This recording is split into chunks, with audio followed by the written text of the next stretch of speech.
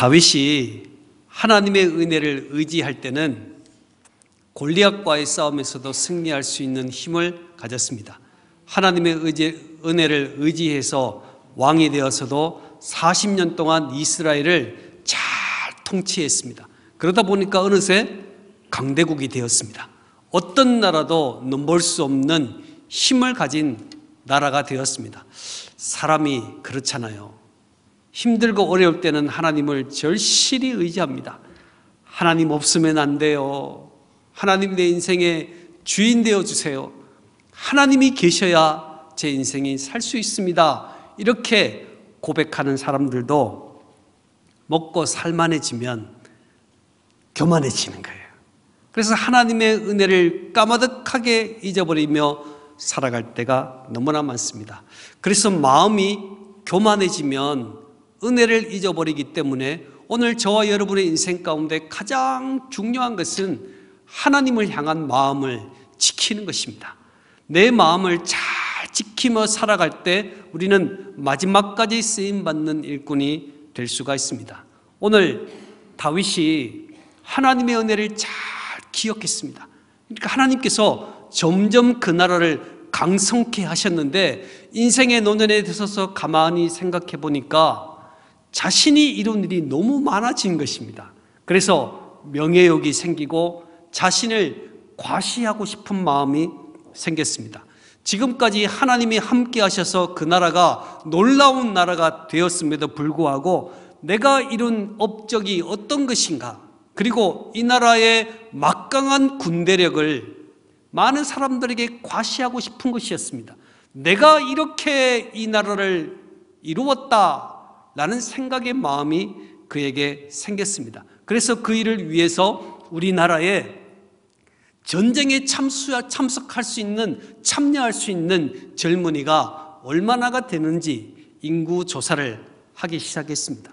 사실은 인구 조사는 나쁜 것이 아니죠. 모세가 출애굽할 당시에도 하나님의 명령에 따라 인구 조사를 했습니다.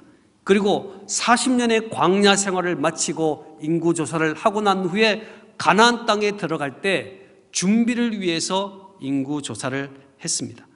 그렇지만 오늘 다윗의 인구 조사는 다른 인구 조사와 조금 다른 면이 있었습니다. 마음이 문제였습니다. 역대상 21장 1절에 보니까 사단이 일어나 이스라엘을 대적하고 다윗을 충동하여 이스라엘을 계수하니라 라는 말씀이 있습니다. 오늘 다윗이 그의 마음에 교만한 마음이 들어가고 과시하고 싶은 그런 욕심의 마음을 사탄 마귀가 이용해서 이스라엘 백성들에게 인구 조사를 시켰다. 이렇게 성경은 말하고 있습니다. 오늘 다윗이 지금까지 마음을 잘 지켰습니다. 하나님을 향한 은혜의 마음을 지켰는데 그 은혜의 마음을 놓쳐버리니까 곧바로 사탄 마귀가 그 마음에 명예욕과 과시하고 싶은 마음을 집어넣어서 결국 인구 조사를 하게 되었음을 말해주고 있습니다. 평소에 별로 신앙이 그렇게 깊지 않았던 요압 장군, 충성스러웠지만 신앙은 그렇게 좋지 않았던 요압 장군도 그의 명령을 받았을 때 인구 조사를 하라라는 명령을 받았을 때 그의 잘못된 동기와 의도를 정확하게 파악할 수 있었습니다. 자, 3절 말씀 한번 읽어 볼까요? 3절 읽겠습니다. 시작. 요압이 왕께 아뢰되 이 백성이 얼마든지 왕의 하나님 여호와께서 백배나 더하게 하사 내 주 왕의 눈으로 보게 하시기를 원하나이다. 그런데 내 주 왕은 어찌하여 이런 일을 기뻐하시리까 하되 아멘. 하나님이 함께 하시면 백배나 강한 군대가 될 수 있는데 왜 세상 왕처럼 왕이 군사력을 따지고 힘을 과시하며 계수하려고 하십니까? 내주 왕이 어찌 그 일을 기뻐하십니까? 라고 요압 장군이 반대를 하는 것입니다. 여러분, 평소에 다윗의 명령을 따르고 또 하나님을 향한 섬김이 있었지만 그리 좋은 신앙을 가지지 않았던 요압 장군도 마음에 알고 있습니다. 하나님이 여기까지 도와주셔서 이 나라가 부강하게 되고 능력이 생겼다라는 사실을 요압도 알고 있는데 다윗이 마음에 교만함이 들어가니까 자기 힘 때문에 이 나라가 여기까지 왔다고 생각하게 되는 거예요. 그래서 명령을 내립니다. 인구 조사를 하라 했을 때 아니다라는 거예요. 그것은 잘못되었다라고 요압 장군이 말하고 있습니다.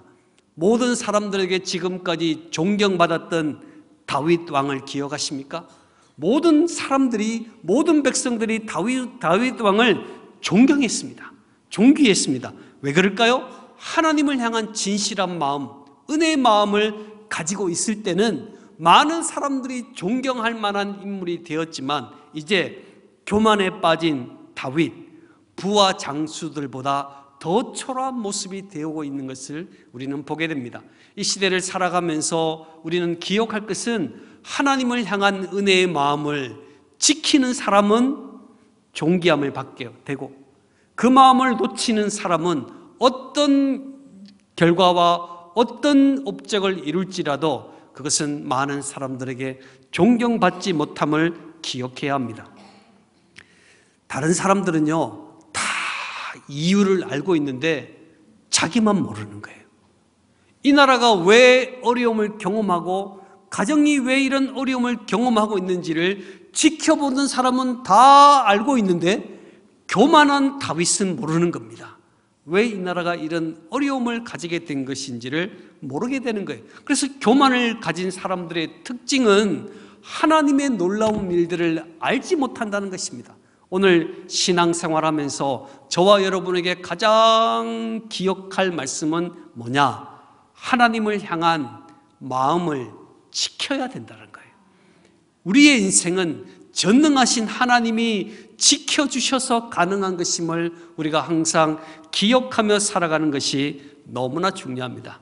이처럼 우리도 마음으로 하나님을 전적으로 의지할 때는 행복해지고 문제가 없이 다 모든 일이 순적하게 진행되게 되는데 반대로 마음을 지키지 못하면 교만하게 됩니다.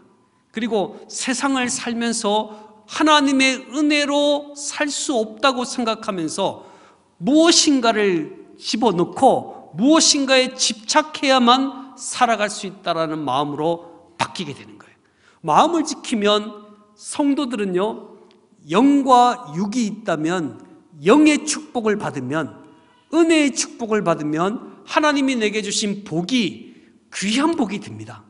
그런데 영적인 복을 놓쳐버리면 그 육적인 복은 아무것도 아니게 되는 거예요. 이게 성도들의 원리입니다. 오늘 우리가 하나님의 은혜를 기억하고 하나님의 주권을 기억하고 하나님의 사랑을 늘 기억하고 살아가게 되면 하나님이 세상에 주어지는 모든 일들을 순적하게 일을 풀어가 주시는데 우리가 하나님의 은혜를 놓치면 당장 교만해지잖아요. 그러면 하나님보다 다른 세상의 권력과 힘과 물질이 있어야 된다고 생각하며 그 물질을 따라 열심히 살아가다 보면 만족감이 없어지고 감사가 사라집니다. 그러면 세상 일이 다시 꼬이게 되는 것이죠. 그러다가 뉘우치고 하나님께 회개하는 삶을 살아가는 경우가 참으로 많습니다. 이것이 우리의 반복적인 패턴 아닐까요?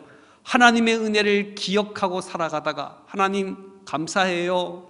하나님이 아니면 이렇게 살아갈 수 없었어요. 감사하다가 교만한 마음 가지고 삐걱 삐걱하며 살다가 눈물로 천부여 하면서 회개할 때 다시 돌아오는 그러한 삶을 자꾸 반복하는 우리들에게 오늘 본문의 말씀을 통해서 우리가 기억할 것은 아, 하나님을 향한 마음을 지키면 하나님이 내 삶을 책임져 주신다. 같이 해볼까요?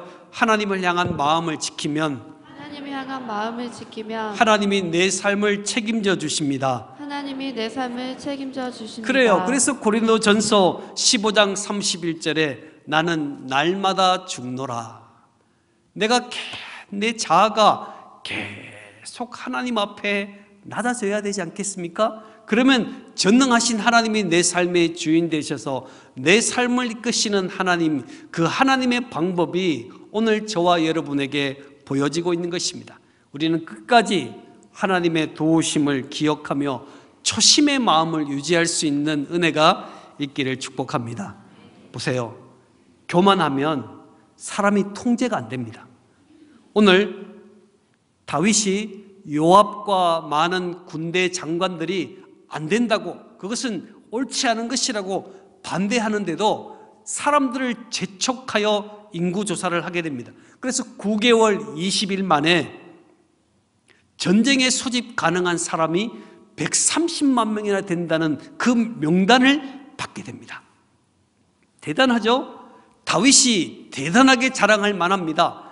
전쟁에 참여할 만한 인원이 130명이었다. 당대 500만이 인구였는데 500만 중에 130만이 전쟁에 참여할 수 있는 힘을 가진 젊은이다. 라는 보고를 받았습니다. 하나님의 뜻을 거스리면까지 자기의 힘과 업적을 나타내기를 원했던 다윗왕에게는 너무너무 좋은 소식 아닌가요? 왕이시여 우리가 9개월 20일 동안 전 나라를 다 돌면서 조사했더니 130만이나 되었습니다. 라는 결과를 들었다면 우리 같으면 매우 기뻐했을 것입니다. 근데 다윗이 마음의 자책을 느끼는 거예요. 아, 내가 하나님 앞에 잘못했구나. 여러분, 교만한 사람은 모든 죄를 다 지을 때까지 의기양양합니다. 그러나 그 결과를 딱 앞에 뒀을 때 마음의 자책감을 가지는 거예요. 이게 하나님의 사람들이 영적인 예민하게 하나님을 향한 마음을 가진 사람은 교만하게 될지라도 어느 순간 하나님 앞에 자책을 느낍니다. 아, 내가 하나님 앞에 잘못했구나. 라는 자책감을 가지게 됩니다. 10절 말씀이 오늘 본문의 말씀입니다. 읽어볼까요? 10절 시작. 다윗이 백성을 조사한 후에 그의 마음에 자책하고 다윗이 여호와께 아뢰되 내가 이 일을 행함으로 큰 죄를 범하였나이다. 여호와여 이제 간구하옵나니 종의 죄를 사하여 주옵소서. 내가 심히 미련하게 행하였다이다 하니라. 아멘. 다윗이 마음에 자책해서 내가 이 일을 행함으로 큰 죄를 범하였습니다. 하나님보다 나의 군사력을 더 의지했습니다. 잘못했습니다. 하나님께 회개하는 마음을 가지게 되었습니다. 사랑하는 우리 성도 여러분, 우리가 하나님 앞에 섰을 때 하나님께 민감한 사람들은 나의 잘못을 금방 깨닫는 사람들입니다. 다윗이 지금까지 하나님께 귀하게 쓰임 받았던 힘도 회개하는 일에 힘을 다했기 때문입니다. 죄를 지을 수 있습니다. 악한 범죄도 할 수 있습니다. 그러나 하나님을 향한 진실한 회개의 마음은 잊지 않아야 한다는 것입니다. 교만하여 누구도 통제할 수 없는 다윗이 되었습니다. 마음이 교만하면 너무나 무섭습니다. 아무 말도 듣지 않습니다. 누가 어떤 이야기를 해도 마음이 교만한 사람들은 그 마음을 다스릴 사람이 아무도 없어요. 아무리 많은 군대 장관들과 아무리 많은 신하들이 만류할지라도 하나님이 해주신 것입니다. 해도 안 들리는 겁니다. 오늘 저와 여러분이 그러한 마음이 있지는 않으십니까? 말씀을 들어도 안 들리는 겁니다. 말씀을 받아도 내 마음에 가진 마음은 움직여지지 않는 것이 바로 교만한 마음이라는 것입니다. 교만하니까 통제가 안 되잖아요. 보세요. 통제가 안 되잖아요. 누구도 통제할 수 없는 상황 가운데 그 130만의 결과를 쥔 다윗이 하나님 앞에 양심의 가책을 느끼는 거예요. 아, 이거 내가 괜한 잘못을 했구나. 하나님이 여기까지 도와주셨는데 내 힘을 내려고 이렇게 내가 잘못된 일을 했구나 생각하며 하나님께 통회하고 자복하는 큰 범죄를 저질렀습니다. 라는 고백을 하게 됩니다. 지금까지는요, 많은 백성들이 잘못을 했을 때 하나님께 회개하면 하나님이 용서를 해 주었습니다. 괜찮다. 괜찮다. 용서를 해 주셨는데 이상하게 이번 기회는 하나님께서 다윗의 허물을 용서해 주지 않고 선지자 갓을 통해서 13절에 보면 세 가지 징계가 있는데 그 중에 하나를 택하라고 말해주, 말해주고 있습니다. 7년 동안 기근을 택하든지 석 달 동안 적군에 쫓긴 바 되어 망명을 하든지 3일 동안 전염병으로 어려움을 겪든지 이 세 가지 중에 하나를 택하라고 말씀하고 있는 것입니다. 아니 하나님이 회개하는 사람을 용서해 주셔야 되는데 하나님께서 책망하는 징벌을 주시는 것입니다. 오늘 하나님이 왜 이런 징벌을 주실까? 사도 바울을 생각하면 사도 바울이 열심히 복음을 전하는데 육체의 가시 질병이 있는 것입니다. 그래서 사울이 다윗이 열심히 하나님 앞에 간구하여 기도합니다. 하나님, 제게 육체의 가시가 있습니다. 하나님 제게 육체의 가시가 있으니 이거 없이 해 주십시오라고 바울이 하나님께 간구하여 기도했을 때 하나님께서는 내 은혜가 내게 족하다 하고 육체의 가시를 제거하지 않고 그대로 두었습니다. 왜일까요? 육체의 가시를 보면서 교만해지지 않고 육체의 가시를 보면서 전능하신 하나님을 의지하게 만들기 위해서 하나님께서는 바울 대선지자 바울에게 그 육체의 가시를 그대로 두신 것처럼 오늘 다윗이 전능하신 하나님께 기도합니다. 하나님 용서해 주십시오. 제가 하나님께 범죄하였습니다. 저를 용서해 주십시오. 라고 했을 때도 하나님이 징계를 결정하신 거예요. 무엇, 이 세 가지 중에 어떤 징계를 받을 것인지에 대해서 말을 했습니다.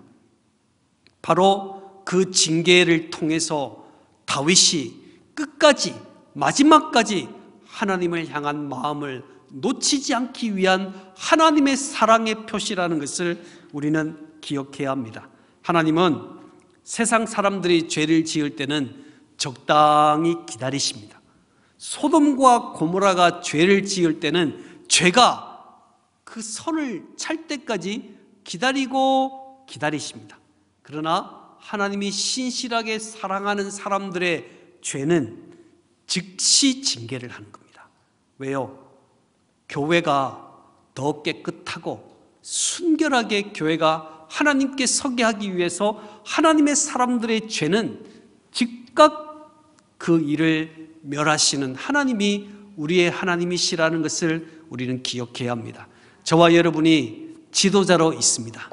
가정의 지도자, 교회 지도자입니다. 여러분, 나를 하나님이 얼마나 사랑하시는지는 몰라요. 너무 하나님이 나를 사랑하시는데 죄를 지을 때는 하나님이 즉각적으로 징계하시는 이유는 나를 통해서 우리 가정이 하나님께 귀하게 쓰임 받기 위함입니다. 나를 통해서 교회가 귀하게 쓰임 받기 위함임을 저와 여러분이 기억해야 하는 거예요. 그래서 믿음의 사람들은 마음을 잘 지켜야 합니다. 하나님을 향한 신실한 마음을 놓치지 않아요. 하나님이 내 인생을 지켜주시고 여기까지 내 인생을 돌아봐 주셨음에 대해서 늘 하나님의 은혜를 기억하는 믿음이 우리 저와 여러분 안에 있기를 소망합니다. 하나님이 다윗을 너무 사랑해가지고 한 가지를 택하라 했을 때 다윗은 모든 처분을 하나님께 맡겼습니다. 원망하지 않았습니다. 하나님, 제가 용서를 구했으면 용서해 주셔야죠. 징계가 뭡니까? 이렇게 말하지 않았어요. 모든 처분을 하나님께 온전히 맡기고 14절 말씀처럼 사람의 손이 아니라 주님의 손에 의해서 벌을 받겠습니다. 라는 말을 했을 때 3일 동안 전염병이 나라에 돌았습니다. 그 일로 인해서 15절에 보면 백성이 얼마나 죽었습니까? 7만 명이 죽었습니다. 아니, 다윗 한 사람이 하나님께 교만함으로 하나님의 모든 사랑을 기억하지 못하고 잘못된 교만을 행한 죄가 7만 명의 백성들이 죽임을 당하는 너무 안타깝고 비참한 일로 빠지게 되고 있음을 우리는 보게 됩니다. 아니, 하나님, 너무하신 것 아닙니까? 너무하시잖아요. 7만 명의 사람이 다 전염병으로 해서 죽임을 당했습니다.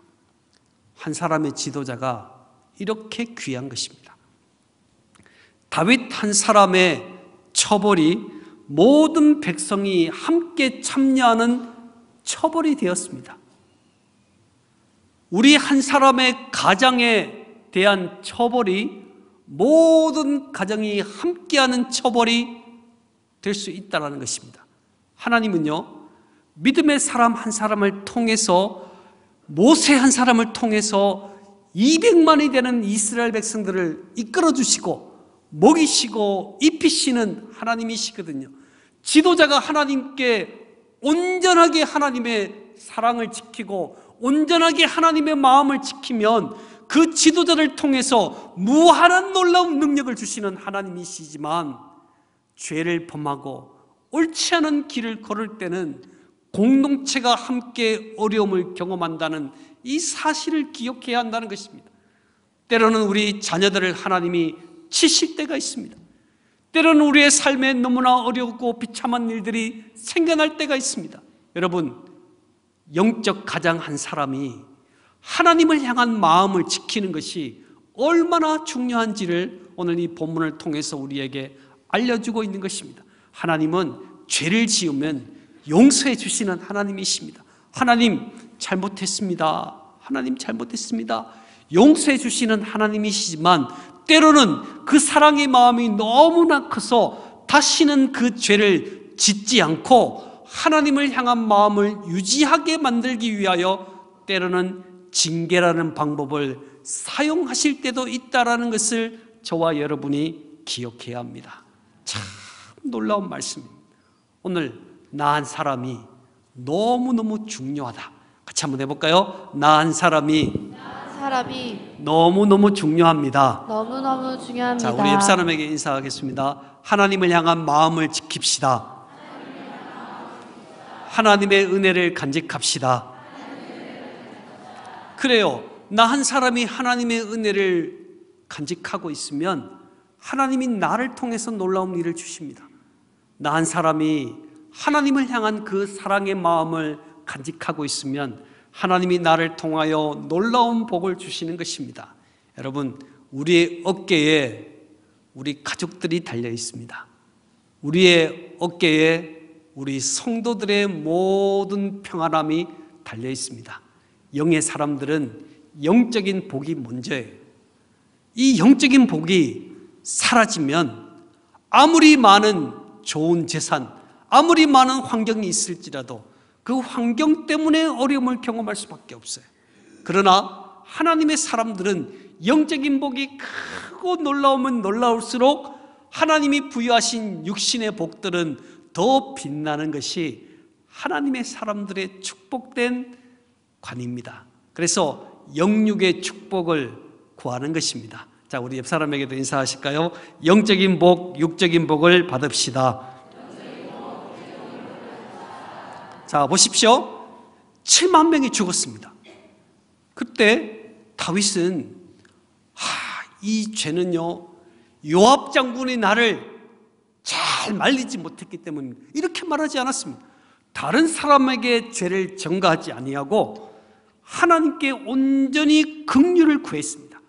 하나님 불쌍히 여겨 주십시오. 17절 읽어 볼까요? 17절 읽겠습니다. 시작. 다윗이 백성을 치는 천사를 보고 곧 여호와께 하려 이르되 나는 범죄하였고 악을 행하였거니와 이 양 무리는 무엇을 행하였나이까 청하건대 주의 손으로 나와 내 아버지의 집을 치소서 하니라 아멘. 아멘. 나는 범죄하였고 악을 행하였지만 이 약물이 백성들은 무슨 무슨 죄를 지었습니까?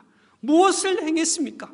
청하건대 주의 손으로 나와 내 아버지의 집을 치시고 이 백성들은 가만히 두세요. 살려주세요. 라고 오늘 다윗이 고백하고 있습니다. 여러분, 죄는 지었지만 하나님을 향한 마음을 다시 지키기 시작했습니다.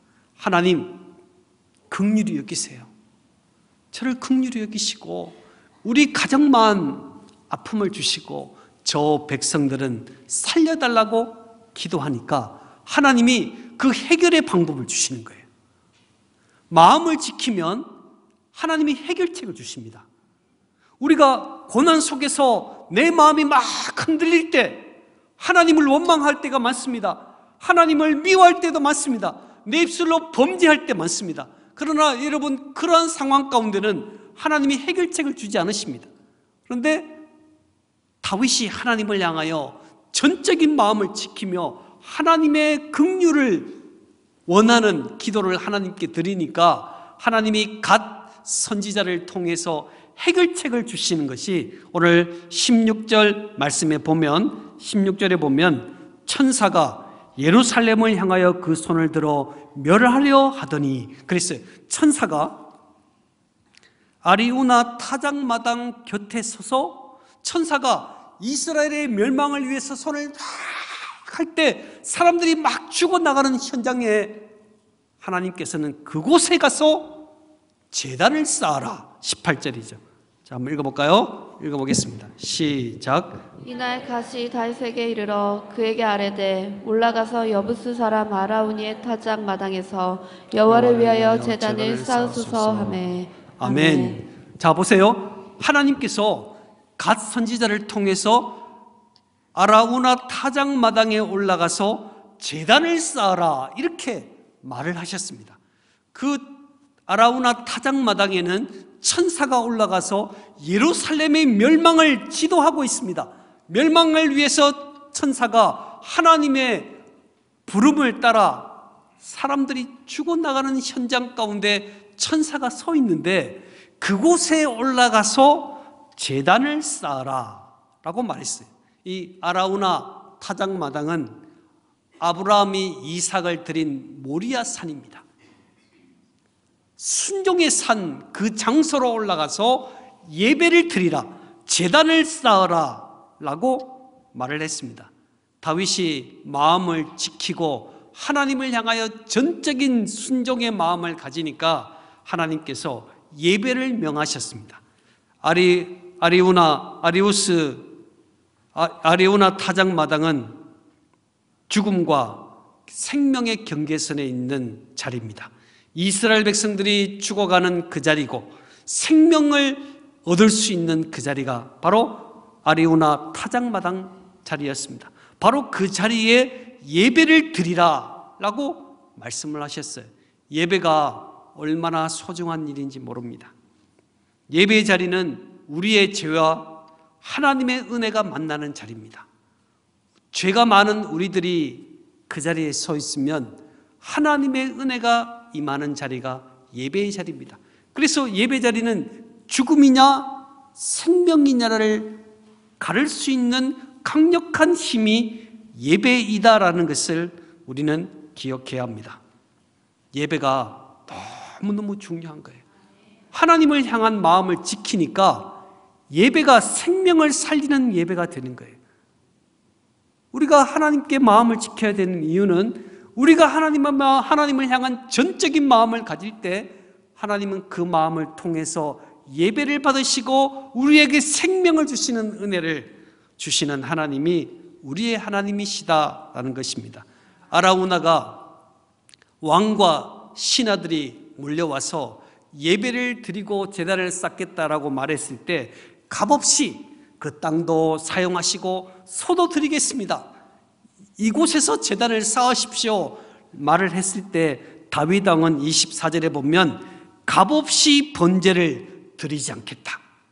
내가 하나님께 예배함에 있어서 값없이 희생 없이 예배 드리지 않겠다라고 말하면서 은 50세겔로 타작마당과 소를 구입해서 그곳에 재단을 쌓고 하나님께 번제를 드리는 일을 했습니다. 저는 오늘 이 말씀이 너무나 중요하다고 생각합니다.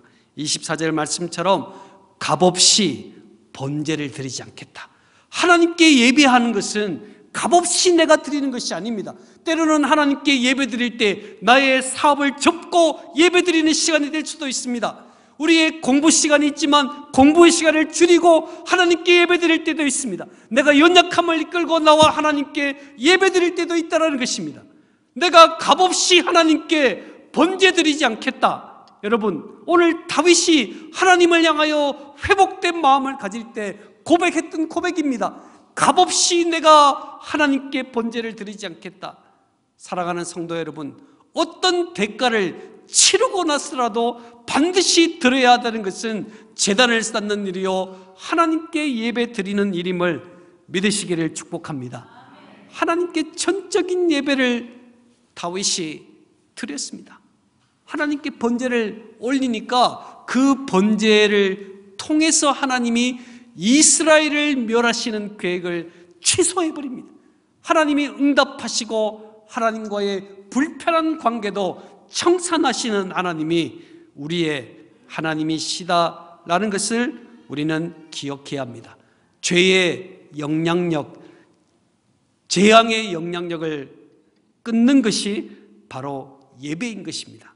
훗날 바로 아라우나 타작마당은 하나님의 성전을 지은 장소가 되었습니다. 저는 오늘 우리 믿음의 성도들이 하나님을 향한 마음을 지키는 것이 얼마나 중요한지를 기억할 수 있습니다.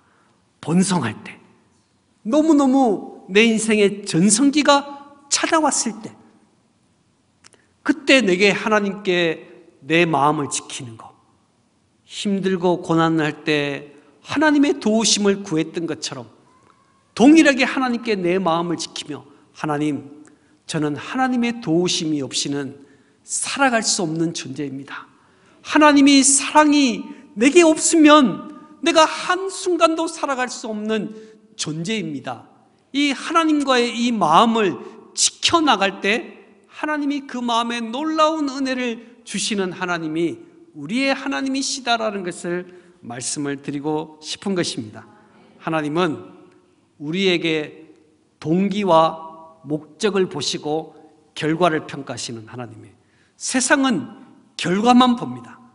그래서 인구조사를 한 것, 얼마가 됐는지 결과만 봅니다. 그러나 하나님께서는 왜 그 일을 하시는지를 보시는 하나님이시라는 거예요. 오늘 다윗이 인구조사를 한 것, 잘못된 것 아닙니다. 세상에는 아무런 잘못도 아닙니다. 그러나 하나님은 다윗의 마음의 교만함을 아시고 다윗의 마음에 명예를 내세우고 자기를 과시하려는 그 마음을 아시고 하나님께서 그 마음에 가진 계획들을 아시고 징계를 내리시고 또 돌아오도록 만드시는 하나님의 놀라운 계획을 알게 되었습니다. 그래서 우리가 하나님의 하나님을 향한 마음을 지켜야 할 이유가 여기에 있는 거예요. 하나님은 내 마음을 보시는 거예요. 어떤 마음과 어떤 의도로 이 일을 하고 있는지에 대해서 하나님이 중요하게 생각하시는 하나님이 우리의 하나님이시기 때문입니다. 그래서 우리는 늘 나 자신을 부정하고 하나님을 향한 전적인 마음을 가져야 되지 않겠습니까? 그러면 하나님께서 내 삶을 책임져 주시고 하나님이 사용하시는 놀라운 복을 주실 줄 믿습니다. 우리는 하나님께 예배를 드립니다. 다윗은 정신을 차렸습니다. 마음이 하나님께 겸허해졌습니다. 그때 그가 고백하기를 값없이 번제를 드리지 않겠다. 예배가 너무 중요해지는 거예요. 하나님께로 돌아오니까 하나님께 예배 드리는 이 시간이 너무 귀한 시간이 되는 거예요. 여러분 세상 사람들 보십시오. 한 시간 예배 드리는 이 예배 드림이 얼마나 세상 사람들에게는 우습게 보이겠습니까? 놀러 가려 그러면 친구들이 여행 가려고 했는데 나 한 사람 때문에 못 가는 거예요. 아이, 치우라고. 우리 예배 예배들이 우리 열심히 놀러 가자고. 세상 사람도 그렇게 이야기합니다. 그러나 값없이 번제를 드리지 않겠다. 오늘 다윗의 고백이 예배가 얼마나 중요한지를 알게 되었어요. 죽음과 생명을 가르는 자리에 예배가 있었습니다. 죄와 은혜를 가르는 그 자리에 예배가 있었습니다. 하나님께 예배함으로 죽음의 사람들이 생명이 되고 쓸모없는 존재들이 존귀한 존재가 되는 바로 그 자리가 예배의 자리였고 그 예배의 자리를 통하여 하나님은 예루살렘 성전을 세워 나가는 놀라운 축복을 가지게 됨을 우리는 기억해야 합니다. 하나님의 마음을 기억합시다. 처음 주님을 만났던 그 따뜻한 마음을 여러분 기억하십시오. 그때는 어땠습니까? 우리 마음이 어땠습니까? 하나님을 만나는 그 자리, 하나님, 감사합니다. 이 은혜 잊지 않겠습니다. 하나님 저를 구원해 주셨어요. 이 은혜 잊지 않겠습니다. 열심을 다하겠습니다. 했던 그 초심의 마음, 지금 어디에 있습니까? 방탕하고 방황하고 살아가다가 혹시 그 마음을 잊어버리지는 않으셨습니까? 하나님께 내 마음을 온전히 지키면 하나님이 우리를 책임지시고 우리의 삶을 부유하게 만드시는 하나님이 저와 여러분의 하나님이심을 믿으시기를 축복합니다. 기도하겠습니다.